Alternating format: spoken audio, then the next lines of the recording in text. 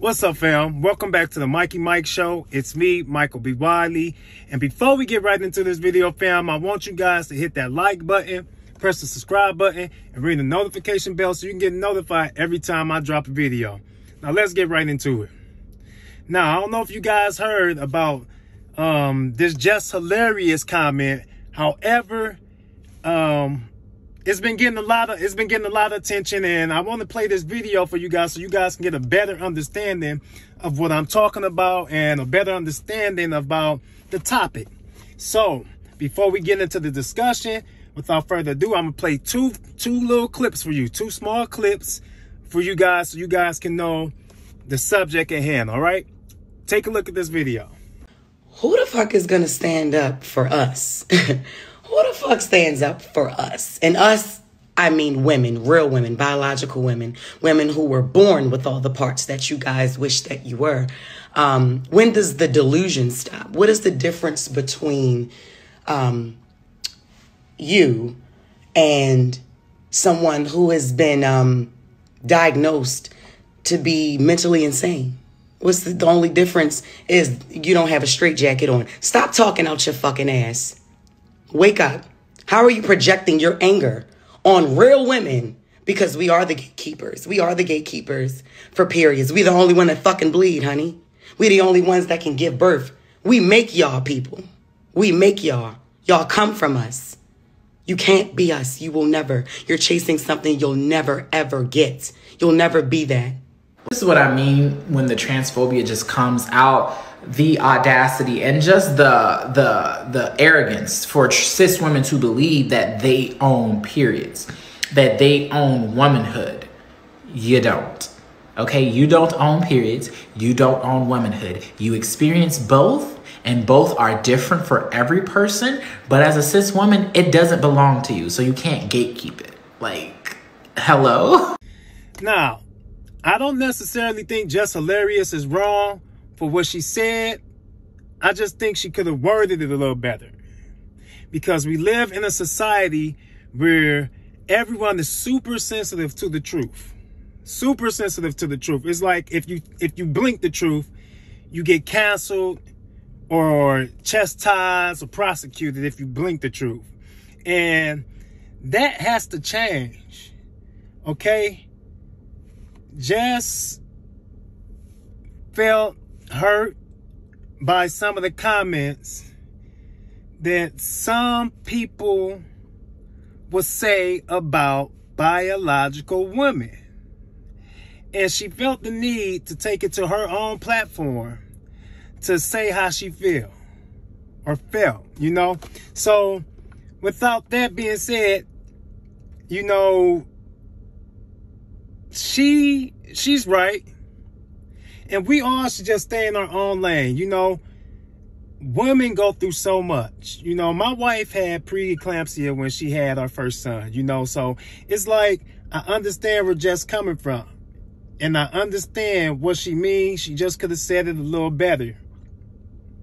And to see my wife give birth to all three of my kids, with whom too she had preeclampsia with, it was just remarkable and a phenomenal experience. And also a life learning and a life changing experience for everybody because she almost lost her life. Excuse me, she almost lost her life giving birth to our first son. Um, women should not have their rights taken away. And the same people and please don't counsel me or please don't be mad at me, but the same people that women fight hard for or women has fought hard for are the same people that are trying to take their rights away from them, who they are. It's like a sense of knowing who you are and being comfortable in your skin. And for people to take that right away because of who they have become is not necessarily right. And I'm a, and I'm treading very lightly here because we do have people that will cancel you literally for telling the truth. Let's just say, for instance, let's say 15 biological men and 15 trans women went on the island together, right? They're going to die. It's just going to be them 30 people on that island. There's not going to be no reproducing. So how can we say that a woman is not a woman because she's born a woman? That's not cool, fam. Women endure and go through so much already that somebody do need to step up and fight for them. And it's us as men that should be fighting for a woman, whether you're gay, straight, bi. We all should be fighting for women's rights and keep them protected in a way to where their womanhood is protected because that's their natural born right. Jess said nothing wrong, and she said it correctly, but the wording, some of the wording could have just been tweaked a little bit. But she said nothing absolutely, everything was true. And we get mad at that stuff. Now, this lady, or this this trans this trans woman felt the need to say what she said because she was hurt or you know and, and, and that's cool. You heard about hearing a woman say that you will never be a woman, and it's understandable. Like I said, we live in a society where, where everybody is just super sensitive. You know, some people are born women, and some people go get themselves made up to be women. But because you're going to get yourself made up to be a woman, or because you want to transition yourself to be a woman, doesn't mean you get the absolute right to take woman rights away from them. Absolute right to tell a woman that she's not a woman or call her anything other than what she wants to be called. Womanhood is essential, just like manhood. And this go for gay, straight, bi, whatever. There are women that are gay that don't agree with this and that are men and there are men that are gay that don't agree with this. So why when somebody that's heterosexual or a straight woman say, "Hey, okay, you living your life, that's cool. You want to you want to dress like me, act like me, get my body parts, that's cool. But don't take away who I am to make yourself feel comfortable." You know, it, it, it's it's kind of getting out of hand, and we all need to just come together and just think about the the the, the sacrifices our mothers took to get every last individual human being on this planet here. Everybody on this planet comes from a woman. You were carried in her womb it's just getting outright out of hand. And we sit around like we don't see nothing. We sit around like we don't hear nothing. We sit around like we we, we, we can't say nothing, but that's all false. You can say something, it's just how, how you say it. There's people in the LGBTQ community, and, and if there's more letters, forgive me, that really agree with Jess. Flame Monroe is one of them. So so so why are we just acting like she doesn't have a right to feel how she feel about it because she is a biological woman. People get mad at you because she want to be uh, she want to be referred to as a woman and not a cis woman. You know, and we can't be sensitive to women needs and what they want but we can be sensitive to everybody else needs if you can catch my drift. My mother is a woman. Your mother is a woman. Her mother is a woman. And that trans woman, her mother is a woman. You get what I'm saying? There has to there has to be some kind of line. There has to be some kind of black and white. We have to fight for our women. They got us here. And man, I challenge you because these are men dressed as women. These are men transitioning as women. So it's up to us as men to say, hey, you want to live your life, live your life. But look, we have women that we have to protect. And we're not, we're not just going to stand away and just do away with everything because of people feelings. Growing up, if I did something that I wasn't supposed to do and I got sensitive about it, my father didn't care. My mother didn't care. They punished me according to what I did.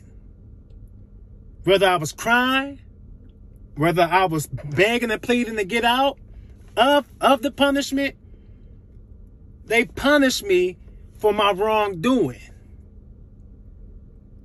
So us as men, we need to step to the to the front line and say, hey, let's help our women out. Let's give them their rights back. Let's give them their womanhood back. Yes, yes, let's give them that. Let's give them that back. I remember my sister when she came on her cycle. She was crying. She didn't know what to do. She went to my mom and said, Mom, I think, I think, you know, it's, it's something going on with me. And my mom and her went out to eat. They went and did all this stuff together, all this woman stuff, all this girl stuff together. They just, they just had a good old time. And my mom had to explain to her the changes her body was going through naturally. And here we are telling women that that the changes they go through naturally, the things they do for us naturally, having birth, carrying the child, being the nurturer of a home, the stuff they do naturally, the stuff that they are supposed to do because it's natural to them to do. We gonna we gonna say we're gonna take it away and let other groups of individuals take that away from them after they didn't fought for you guys to be who you are, to be yourselves, there is not nobody more supportive in the black, and there's nobody's more supportive in the gay community than black women. They they got on the line for you guys, and to just turn around and you just see them slapping, you know, the people that they fought for, slap them in the face my sister have a gay best friend. Or well, she had one. I don't know if she still have one. You know, my wife have a gay best friend.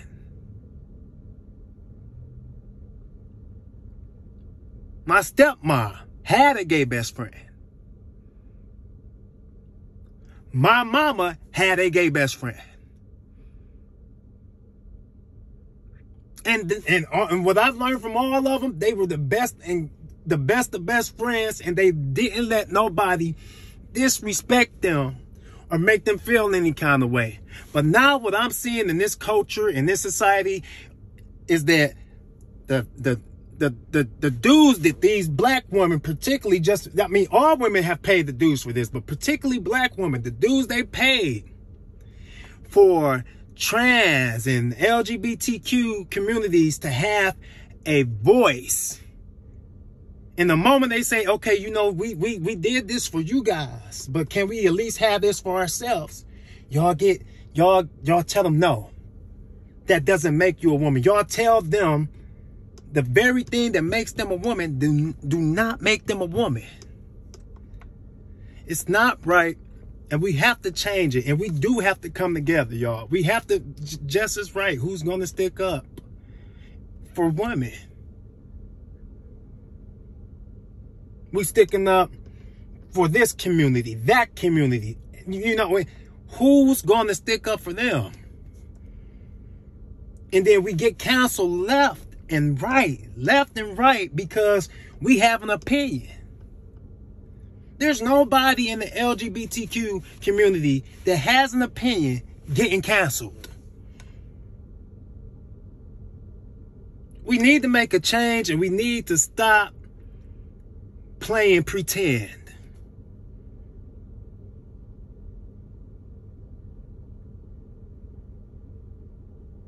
And I'm going to end it right there. It's not my field. I had to talk about it because I was getting so many emails to talk about it. Like, Mike, just please talk about this. And I, and I wanted to talk about it. And I, and I'm glad I came to talk about it because I had to get that off. Trans women, listen and listen well. Listen clear. The women, and this is not all trans women,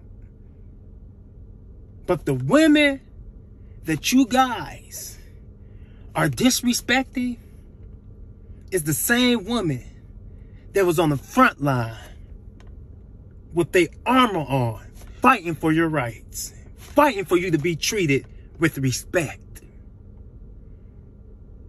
And if you can't respect them, the people that fought for you and that respect you, how you to demand it from somebody else?